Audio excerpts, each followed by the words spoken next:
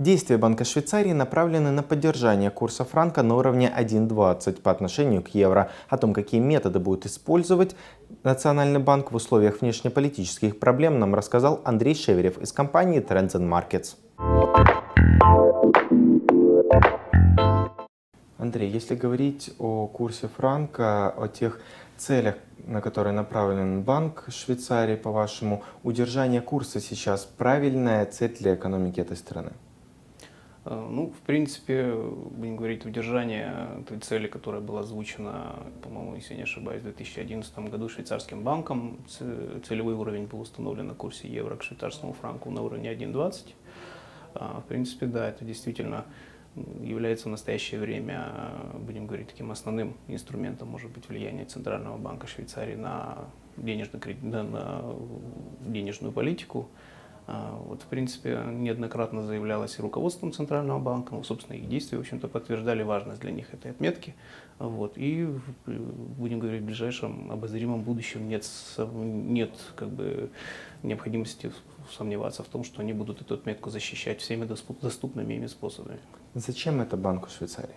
Дело в том, что в настоящее время в условиях практически нулевого уровня кредитных ставок в Швейцарии и, самое главное, в, в, в еврозоне, вот этот э, инструмент э, является, может быть, наиболее из эффективных единственным таким достаточно, потому что э, экономике Швейцарии, в общем-то, не выгоден высокий, высокий уровень швейцарского франка. Это связано как бы и с экспортным потенциалом определенным страны, и сам, с внутренними проблемами, связанными с ситуацией на рынке недвижимости. Вот. Ну и дело в том, что, опять же, мы об этом говорили, в условиях практически нулевого уровня процентных ставок других способов влияния, в общем-то, они ограничены достаточно. Поэтому вот это таргетирование э, минимального обменного курса вот, и защита этого уровня является, ну, по крайней мере, в последние вот, годы это показало свою эффективность, то есть курс эту отметку не пересекал. Основные заявления Банка Швейцарии были по поводу того, что э, ничего банк не будет делать, пока Европейский банк ЕЦБ не повысит процентные ставки в Европе. Ну, то есть экономически зависимо от э, стран, которые находятся вокруг, э, Банк Швейцарии пытается защитить собственную страну, получается. Безусловно, безусловно, экономика Швейцарии, она, несмотря на то, что она достаточно интегрирована как вот в экономику их стран еврозоны, так и, в принципе, мировую экономику, все-таки она так стоит особняком достаточно. Вот. И Благодаря валюте в том числе. Безусловно, безусловно, в валюте и в определенной степени там больше или меньше как бы, независимость, независимой валютной собственно, политики Центрального банка. А вот, э, безусловно, э, то есть будем говорить там совокупность там, факторов внешних, которые влияют на экономику, на экономику Швейцарии, ну, достаточно значит, значительно. Вот, соответственно, нужно принимать какие-то контрмеры, которые э, в расположении, в общем-то, в, в арсенале Центрального банка их достаточно ограниченное количество в настоящей ситуации. Вот, ну, одним из которых является вот именно поддержание вот этого вот ограничения минимального курса.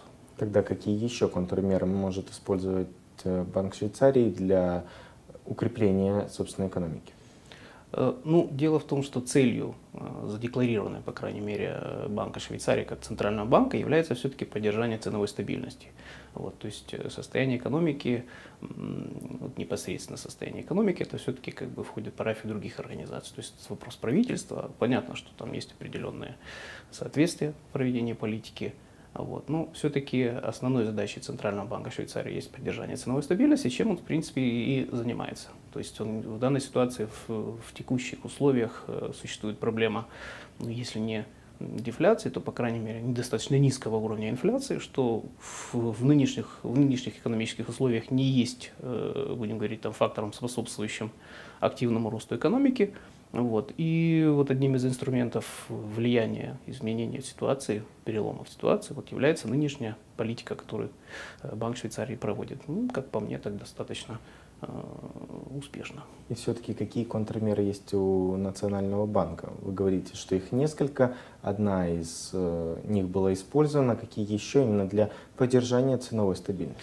Ну, если мы говорим о возможностях, будем говорить там э, роста курса франка выше вот, вот тех отметок, о которых мы говорили раньше. 1,20. Да, совершенно верно, против евро что в принципе в условиях э, нынешней ситуации в еврозоне, ну, будем говорить, тенденция к ослаблению евро, она, в общем-то, отражается на курсе э, евро-франка, который, в принципе, в настоящее время как раз приблизился к этой отметке. Вот. Ну, начинаем, как бы, в принципе, есть достаточно стандартный набор мер, то есть начиная от вербальных интервенций, заканчивая, в общем-то, интервенциями фактически на валютном рынке. Учитывая тот объем, а, будем говорить, валютных резервов, которые находятся в распоряжении швейцарского банка, в этом смысле у них возможности достаточно широкие. Вот, я думаю, что не исключен вариант, что в ближайшее там, время мы сможем в этом убедиться. Но это будет до тех пор, пока экономика еврозоны не будет восстанавливаться, не будет укрепляться евро, тогда Швейцария сможет пойти на шаги, когда не будет использовать золотовалютные резервы, даже не будет мысли о том, чтобы их использовать. Тогда просто будет отпадет сама возможность, сама необходимость использовать такие вот моменты. То есть тогда экономическая ситуация э, изменится, и, соответственно, может быть, там изменится направление потоков капитала, что, безусловно, окажет свое влияние на курс по-вашему, внешнеполитические события, которые происходят э, в Европе, странах СНГ, как они влияют на валютный курс франка? И вот, по крайней мере, последние события по поводу введения санкций к э, нескольким крупным российским банкам, это все-таки отражается на финансовой системе Швейцарии? Э, ну, безусловно, это отражается на финансовой системе Швейцарии. Другой вопрос, насколько это влияние, будем говорить, значительное. А, мне сложно сейчас судить, э, будем говорить о том, какую, какая там доля, э, будем говорить, там, э, оборота или там работаешь с, с российскими банками, приходится там на общие там, доходы швейцарской банковской системы. Однако в любом случае это, будем говорить, там проценты, может быть, доля каких-то процентов. Поэтому говорить о каком-то радикальном влиянии я бы не стал.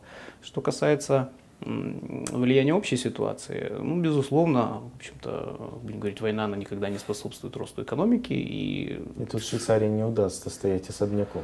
Э, ну, в общем-то, скажем так, э, те события, которые происходят в мире, безусловно, окажут влияние и на состояние, будем говорить, экономики Швейцарии, ну, в данной ситуации как бы на курс франка, да, то есть, э, в принципе, это немножко усложнит задачу Центральному банку Швейцарии, поскольку в периоды нестабильности традиционно растет спрос на так называемые безопасные активы, которым традиционно принадлежит швейцарский франк. То есть люди, будем говорить, э, уводят, может быть, часть своих активов валюты стран, э, которые считаются достаточно стабильными в политическом, прежде всего, э, смысле этого слова. Ну, как мы говорили, так как это стабильная валюта и есть достаточно золотовалютные резервы и другие инструменты, то волноваться за счет насчет того, каким будет курс франка относительно отметки 1.20 не стоит? Ну, безусловно. Я думаю, что эта отметка достаточно четкий ориентир, все это прекрасно понимают, и поэтому, может быть, попытки какие-то будут его преодолеть, однако одни будут пресечены так как мы говорим а, об отношении к евро, что будет с этой, что будет с европейской валютой, ведь на нее больше отражаются внешнеполитические факторы. Безусловно, безусловно. И на фоне восстановления экономики еврозоны сейчас мы увидим небольшую корректировку или такой боковой тренд. Ну, дело в том, что, в общем-то, говорить, э, там, может быть, есть какие-то признаки там, восстановления экономики еврозоны, однако говорить о том, что ситуация резко изменилась, и вот впереди нас ожидает период бурного роста в еврозоне, наверное, не стоит.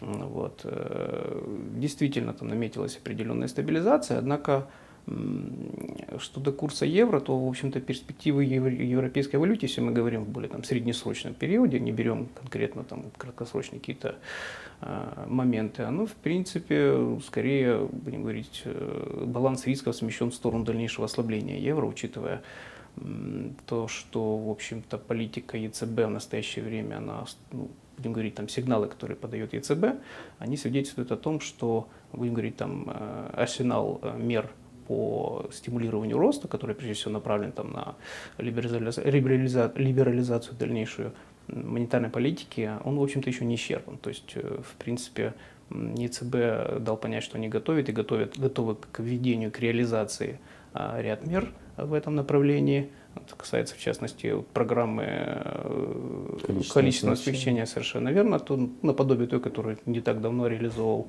ФРС, который, в принципе, эту программу уже вот буквально там в ближайшие месяцы завершит. И там в США уже идет речь о том, что, в общем-то, о сроках, будем говорить, там, начала ужесточения э, политики.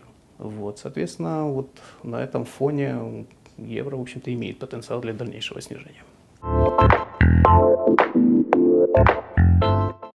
О том, что будет с курсом франка в ближайшем будущем, нам рассказал Андрей Шеверев из компании Trends Markets. Спасибо за ваше внимание. С вами был Евгений Бенца, специально для Дука Скопи ТВ из Киева.